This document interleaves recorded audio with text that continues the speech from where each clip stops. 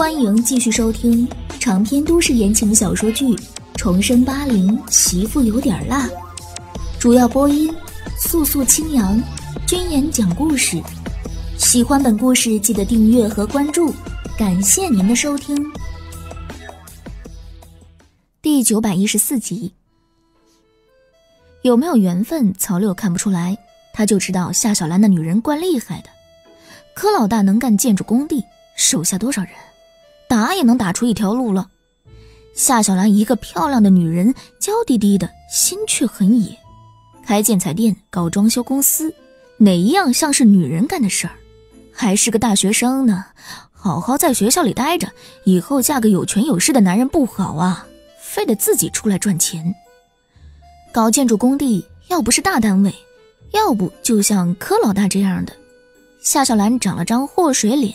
还要和三教九流打交道，曹六想不明白，这样厉害的女人，难怪柯老大念念不忘。要曹六说，配柯老大也正好。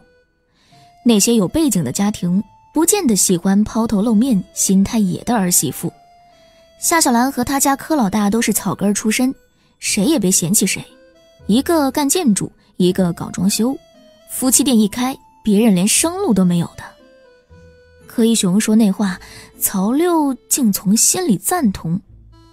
但夏小兰是有主的，对方还很难缠，曹六怕他家老大有命抢人，没福享受。呃，老大，我说句实在话呀，硬来是没用的，这事儿得靠您自己用水磨功夫。柯一雄看他一眼。你以为我真为了一个女人要死要活的？要想有女人，还要钱权开路。你看有钱成杜兆辉那样，想要什么女人没有啊？杜家大少想要什么女人？想必勾勾手指就有女人投怀送抱。曹六搞不明白了。不想要夏小兰查夏小兰的消息，那是为了什么？柯一雄露出和气的笑容。哼，你说他的建材店是和白志勇妹妹合伙的，证明他一个女人还是玩不转嘛。能和白志勇妹妹合伙，不如考虑和我合伙呀。白家武馆是早就没落了。白志勇一当兵，靠他妹妹更撑不起白家的牌子。刚来彭城不久，柯一雄就和别人为了抢生意火拼了好多场。特区自然是很能赚钱的，但小打小闹不成气候。夏小兰仰仗白家武馆的名头，不如同他合作。夏小兰不仅是漂亮，能考上大学的脑子也真的是好用，挑的行业都是能赚钱的。这个女人太聪明了。他要是直接插手建筑工地，会遇到各种阻力；但他从建材和装修入手，干点什么反而没那么惹眼。柯一雄摸着下巴，他有什么能和夏小兰合作的呢？又如何要让夏小兰主动找上门呢？至于夏红兵父女俩被安排来工地干活，柯一雄根本不用露面。难道在他手下干活的还有谁敢偷奸耍滑？柯一雄想到这两人和夏小兰的关系，还吩咐了一句：“曹六，别让他们太轻松了。别人该干的，他们也不能少。我工地上不养闲人，我的钱也不是大风刮来的。除了像杜兆辉那样的二世祖，谁兜里的钱来的容易啊？”柯一雄为了搭上杜兆辉的线，也是把姿态放得很低。连他都要丢下面子才能赚到钱，两个不相干的人还想占他便宜，那才是做梦。夏红兵父女俩再不愿夏大军给找的工作，他们却不能说看都不看一眼。以前说找不到工作的借口不好用了，夏红兵要是说建筑工地辛苦，小雨就会睁着一双雾蒙蒙的眼睛。大军刚到南方讨生活时，睡桥洞。喝水坑里的泥水，在码头上给人扛大包，比建筑工地还辛苦。小雨的话说完，夏红兵发现他二哥的眼神都不对劲儿了。夏红兵敢说不来吗？他全家五口人都靠夏大军养着，装模作样也要来工地试试，然后再说在工地干不下去。夏红兵是这样想的。父女俩的想法差不多，就算是上班，夏红霞想要的也是体面的工作。在脏兮兮的建筑工地上，能认识啥有钱男人？到外资厂还差不多。先忍两天，一定要告诉二叔，工地上待不下去。父女俩呢，想的倒是挺美。落到曹六手里，不用柯一雄刻意吩咐，曹六都不会养闲人。想进来容易，想出去又怎么可能呢？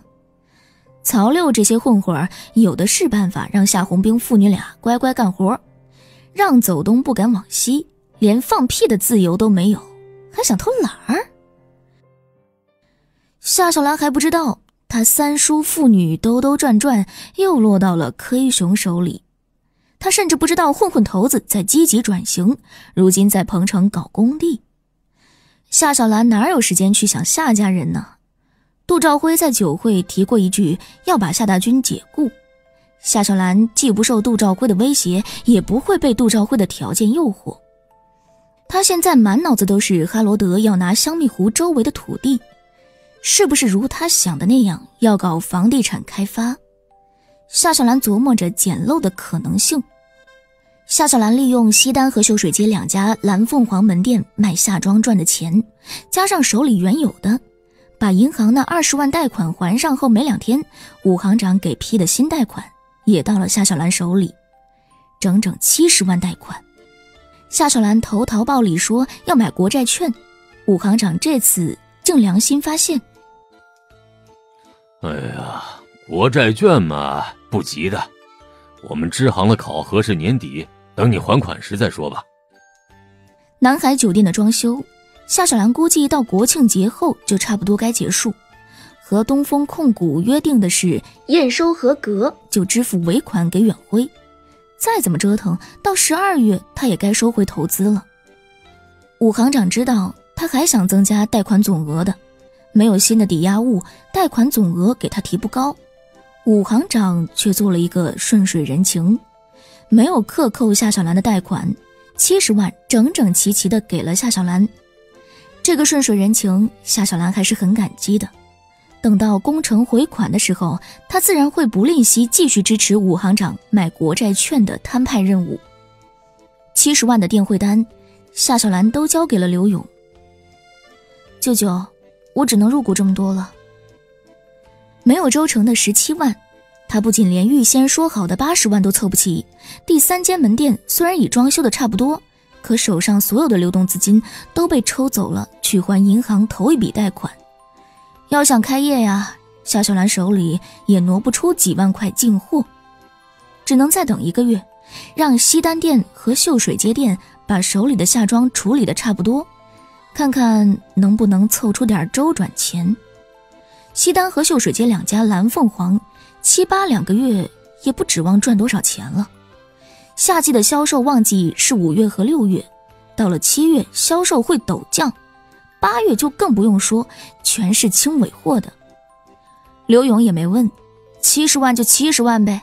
当初和东风控股签的合同对远辉有利，这工程压力再大。华建的人如何比试都抵不过有一条好处，东风控股那边结款特别爽快，刘勇在资金周转上的压力多十万和少十万区别不明显。